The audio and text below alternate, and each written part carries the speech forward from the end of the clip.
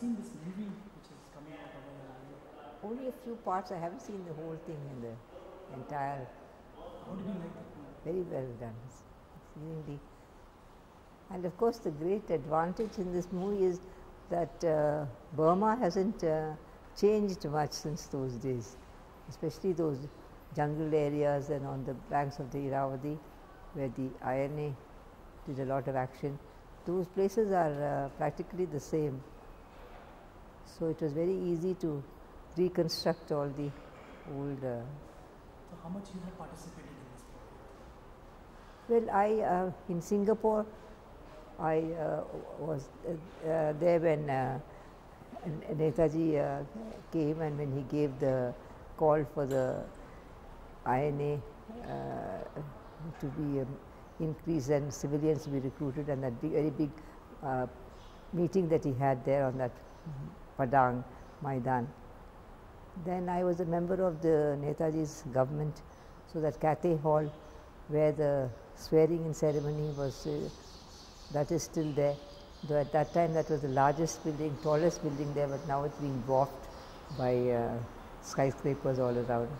So there, then my first uh, Rani of Jhansi Regiment camp was in Singapore. But that area has all undergone a lot of change. But still, I was to recognize the place. When the call was given, तुम मुझे खून दो मैं तुम्हें आज़ादी दूँगा. Uh, were you present at that time? Ji When the call was given by Netaji? हाँ हाँ मुझे बिल्कुल सारा याद है इस वक्त That was the time when uh, you were present at that time. या या बिल्कुल I was. And what what exactly you have uh, I mean, participated or helped in uh, making this movie? Then you see, uh, uh, started this women's regiment, Rani of Jhansi ki regiment, and uh, he made me the commander of that regiment. So uh, I was uh, trained along with the other recruits, and uh, I, I lived in the camp. Then I moved into Burma, and uh, went further in Burma also, up to the middle of Burma, Mandalay and Maymyo. So my participant was there, participation was there till the end, and uh, I was arrested uh, by the British fo- forces, and uh, I was kept in Burma for a whole year under house arrest, and sent to India only after all the talks had uh, about the formation of provisional government and uh, partition and all that were over. Only after that I was sent back to India. I'm asking about the participation which you have made in the, in the creating a movie, in the film I'm talking about. How much how much you have participated? No, all the places that I where I was present, and which is in all those uh, I participated. Though they took se- se- separate interviews of um, myself, you know, there's one full episode of that, and then of uh, Colonel Dhillon. So you were as a captain in Yeah. cycle in and uh, what were the difficulties which you had to face at this age in, in uh, going through the process of making a movie? But The, the process from the making of a movie yeah, at the age which you are having now. Now how many how much difficulties you had to face making the movie, we had no difficulties at all. Everything was laid on, and not like those days when we actually participated and we had no transport, when we had to walk for miles on foot, and uh, when we had uh, very little ration, and constant uh, bombardment from the air. So that time was the real difficulties. Now this partition movement was very easy, very luxurious. At what age did you join the Netaji's? I was uh, 28 at that time. 28. At the age of 20. I was already a doctor, you see, I had done my MBBS and So you you went from uh, India, you went to Yeah. Singapore and joined the Netaji. So can you tell me something very special which has happened in uh, that time when you were in the army? no, this whole thing of, uh, uh, you see, after Netaji coming and uh, taking over this army, and this idea of forming a women's regiment, that was something very, very revolutionary, you know. And even I, though I was prepared, whatever he wanted me to, I will do. But I was very uh, surprised that we were able to get so many women. 1,500 women uh, joined this regiment. And they were all ordinary Indian women not very uh, highly educated or even uh, very strong, ordinary uh, housewives and coming from, uh, you know, working class families of people working in the rubber estates, in the PWD, and a few petty shopkeepers, business people, those kind of uh, women joined. And not only they joined, then they took up the training also very seriously and uh, they became sort of strong, healthy, and they never panicked. Until the end, they were determined to uh, stay in the regiment. They didn't want, when they, Netaji wanted them to be dis- disbanded, they were very unhappy, and many of them signed petitions in their blood to Netaji to say that uh, we don't want to leave, we uh, will also undergo whatever has to be in store for us and you don't, don't send us back home. There is one controversy. Just a minute. Ma'am, the name which is given uh, Forgotten Army. Do you think it's really a Forgotten Army? It was till very recently, and that name was given, you know, by uh, an American professor. He has written a book called The Forgotten Army, and uh, he was posted in uh, Kanpur in the IIT in the Department of uh, Humanities. He was a historian, Professor Peter Ward Fay. And my husband and I became very friendly with uh, him, and through us, he came to know about the INA.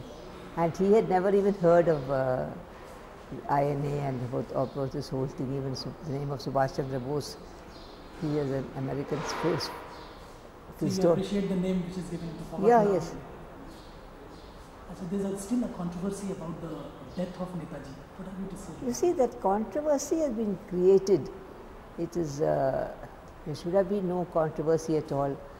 And the controversy, you know, the people who are carrying on the controversy have not uh, produced any proof that that air crash, crash didn't.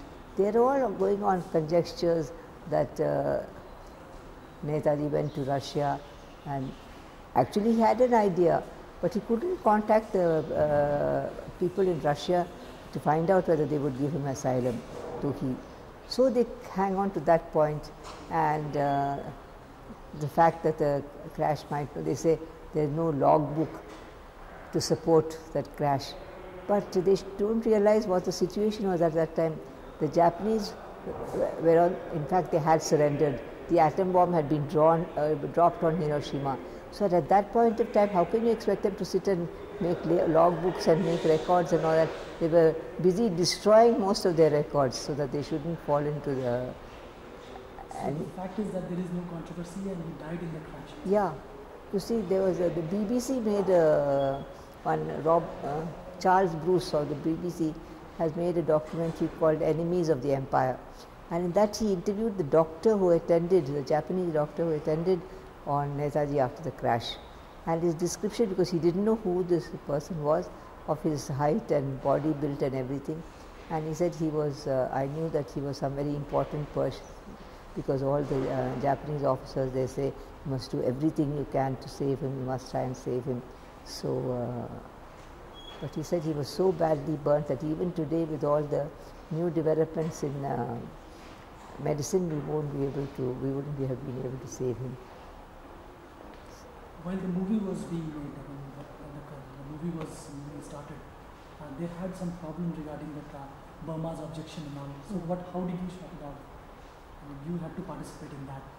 No, because of that. Otherwise, the, uh, the idea was, you see, we would have uh, gone in the jeeps and then he would have stopped at all the places that uh, were very of importance to the INA and uh, done that whole uh, uh, the way the, the, the Ind- Indian National Army uh, moved right up to Imphal.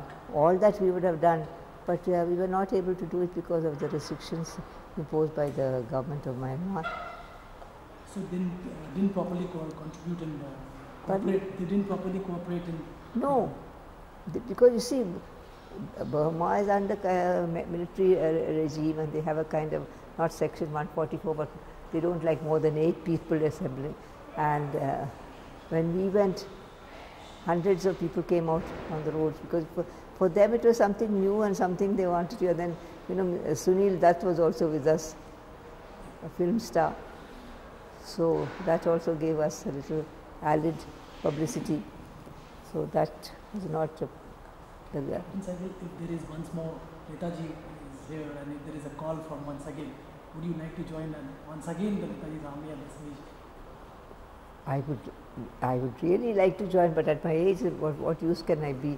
I can't uh, undertake all those same things. That though I'm, a, though I must say that after coming back to India, especially in the last few years, my uh, life has been again very, very strenuous because there are so many social uh, problems have arisen in this country, and especially problems affecting women. And I'm actively associated. Yesterday, I was in Jaipur and demonstrating outside the uh, secretariat there because that poor girl who had been raped five or six months ago, again she was uh, raped. And so our women's association uh, organization, we were having our conference there, we all marched to the Assembly. assembly and so these things are going on. Thank you very much. Thank you very much. Thank you.